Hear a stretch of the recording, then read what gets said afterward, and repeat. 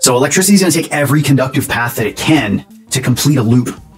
So if you look at a circuit, current always travels in loops, right? We got a source, we got conductors connecting to a load, but it makes a complete loop. Somewhere in between here is our panel, but from the utility pole or the transformer all the way through to like a dryer, vacuum cleaner that's plugged in, all the way back. It has a loop, right? So uh, there's going to be multiple paths within there. If we were to connect a bunch of wires, then we have multiple loops. So current is going to travel through this loop, and it's going to travel through this one. This is a simple parallel circuit, right? Like the, almost every circuit in every house is a parallel circuit, and current is traveling through all of them. When you plug a load in, you're adding a resistor or a resistance, an impedance, really, uh, to the, the circuit.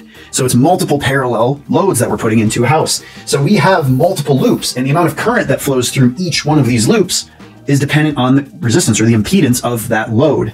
So it always travels in a loop, but as many paths as you give it, it's going to take all of them. And the amount of current flowing through each one is going to depend on the resistance.